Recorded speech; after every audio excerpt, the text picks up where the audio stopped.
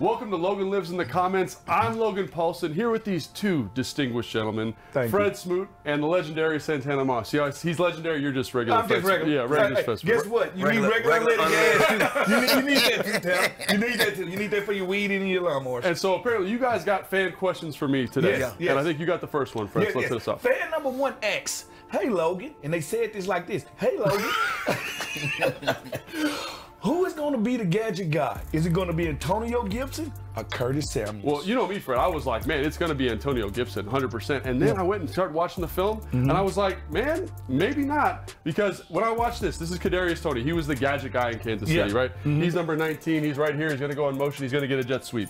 So he's going to get this jet sweep and watch the movement skills, watch mm-hmm. the suddenness, right? A guy that can make a lot out of not a lot, right? Yeah. Making people miss, doing an excellent job. And I said, that that reminds me of somebody, right, Tana? That looks familiar to me. Yes, Lord. Who's our guy, right? Here we go. We got Curtis Samuel right here at the top. He's going to get a jet sweep and move around. And I think one of the things having the receiver be the gadget guy gives you is he can line up all over the formation. Yeah. Catch passes, he can do all these different motions. And again, making people miss, making plays after things. So I said, well, you know, that's just one thing. Everyone runs jet sweeps, Yeah, right? Yep, yeah. He's got to do that. But also, Kadarius Toney is getting touches in the run game. Here he is back here.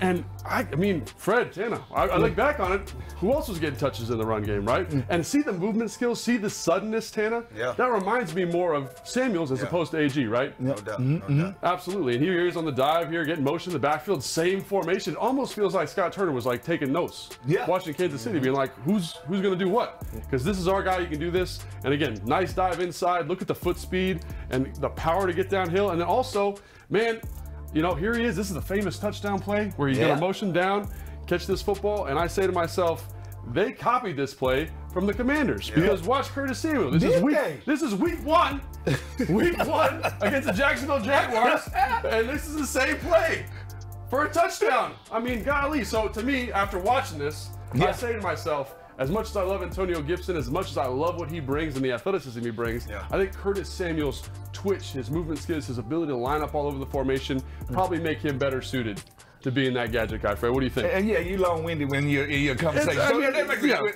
That, that- makes it good. You, you are right. The difference between them running it and us, we ran it in the first week of the season. They ran it in the Super Bowl.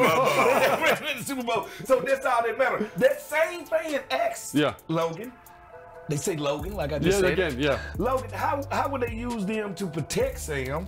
And we're having so many offensive weapons, either be confusing, I set the offensive back. Yeah. So to me, Tana, you can never have too many offensive weapons. Never. And Fred, you Never, play defense. Is it is it ever a bad thing when you go, man, on that on that scouting sheet? Oh, they've got ten guys who can catch the football and make plays. I don't think so, Yeah, right? I, I think it's just about EB identifying how best to utilize those guys and when to utilize it. You can't be always doing jet sweeps. Yeah. You can't be always handing the ball off to Curtis Samuel. You got to identify those moments about when it's best to do that. And I think EB, when you hear him talk, he understands that and he's going to get that done. So I think we have the right guy at the helm of this ship to kind of make sure we're on the right page and make sure that we're insulating Sam Howell with this stuff, making sure he's not having to make too many hard decisions, but also making sure that the playmakers get the ball when they need to, mm-hmm. right? Mm-hmm. I'm gonna tap into my Fred Smoot fan voice. Mm-hmm. fan number two said, "Hey Logan, what do you think about the O line we currently have?" So, I mean, you guys guys don't know a lot about O-line. Do you guys? Yeah, we do know a okay, lot sorry, about I'm O-line. sorry, That was Something me. about it. That was me. I know how you gotta get fat back and, And kick I know, push. I know, I know a little something about it. So I mean, there, there's a lot of questions, right? Yeah, you bring yeah. in Wylie, who's an excellent pro, did an excellent job. Here he is, right here Mm-hmm. in the Super Bowl. You got Cos moving a guard, a little bit of a question mark. You got Gates coming in,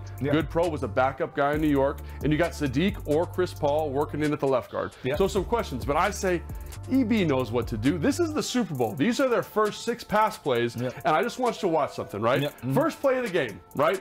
We're going to leave a tight end in. He's going to stay in in protection, and we're going to run a nice play action here. And I don't care how good of a pass rush you are. When you think it's run and you're getting triple teamed over here, Yeah. it's really hard to create pressure. It so is. we're going to take a lot of pressure off those guys just by play calling, right? Let our guy Patrick Mahomes wheel and deal, find our playmakers down the field, and like you were saying, Fred earlier, we got a lot of playmakers here. Yeah, we do. So it's just about can we protect the young Airwolf?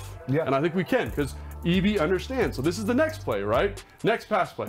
It's another play action. We're gonna leave. The, we're gonna vacate the pocket. We're gonna change the launch point. That makes it hard for these rushers to kind of pin their ears back and get after it. So we're gonna move the pocket and look over here. We got the tight end staying in again, right? To Yeah. help with protection and getting Sam Howell on the perimeter, letting him use his mobility. And this is a 10-yard gain. Easy peasy. We're not stressing that offensive line, right? Mm-hmm. Third pass play. Now we're getting a little dicey. Now we got to have it. It's third and long situation in the red zone.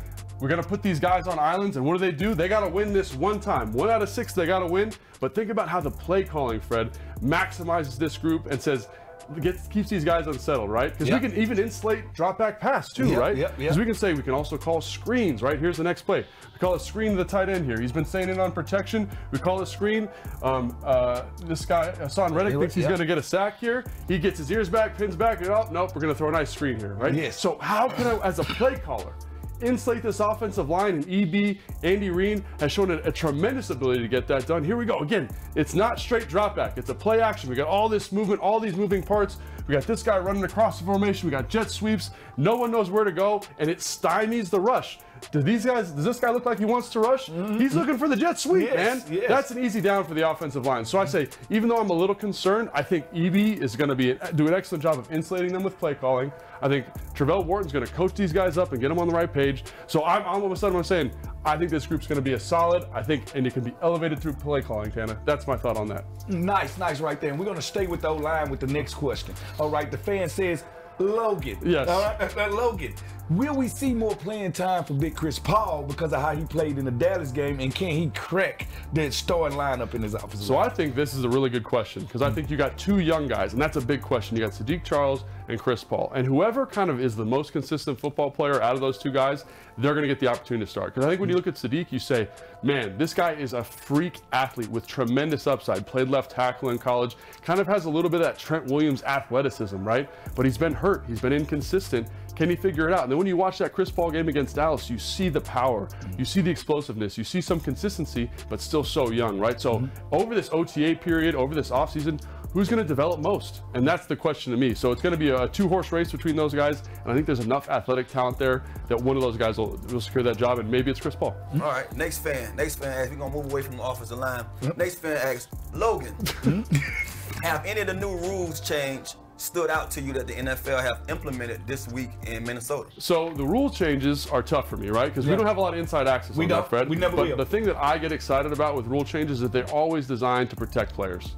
And I'm about protecting players, right? Alright. I know a lot of people say the game's getting soft, but I want to see guys play for 11 years Yeah. and be okay. I want to see starting quarterbacks play the whole season. So whatever rule changes they come up with this year, I want to make sure the players are protected, they're in a good spot, and they're kept safe. And I know, Fred, that's old school. That knee, that hip's bugging you, right, man? That wasn't how it was when I played oh, back in my day. But that's day. important to me. Yeah, And hopefully they very come up with some good rules there. I can dig it. Yep, yep, yep. Now this question, you actually was asking us, but I'm reading it off the paper. no, you know which let me ask you. I, I, all I'll put this on there. Ask Let us me- a question? That's yeah. too. So, so my question is, Yeah. you know, I played with Santana, Yeah. and he was one of the best change of direction receivers I ever played Yeah, with, yeah. right? I ever I- saw in person. Thumbs up to that. And so, to me, there's no physical way that you could cover Santana. What? Do you think you could cover Santana? Get Moss? up right now.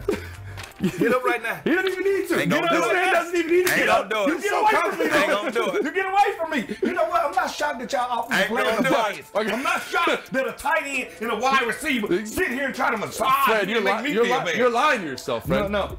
It won't be the first time. All right. Wait. Guys, thanks so much It's on for tape. joining us on Logan Lives in the comments, and we're going to have to work that out this week, and Yeah. we can see what happens, Let's right? see what happens. Thanks for joining us, guys.